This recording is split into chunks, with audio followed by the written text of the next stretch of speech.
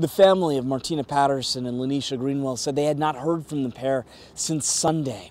Well, on Wednesday, they got the news no family wants to hear.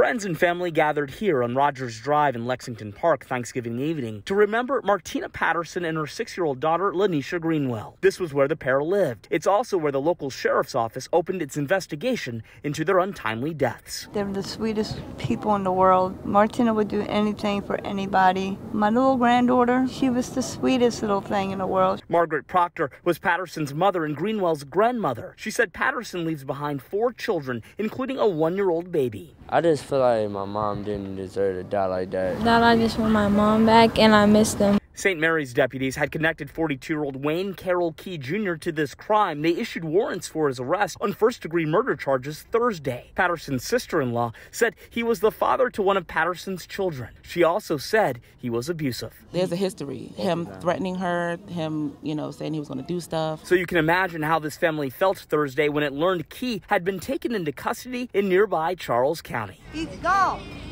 They just caught him. Martina and Lala can rest now. Yes.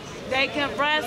Y'all do not have to worry about nothing now. Now, the family has also set up a GoFundMe page to help with burial expenses. You can learn more information about that effort on our website, WUSA9.com.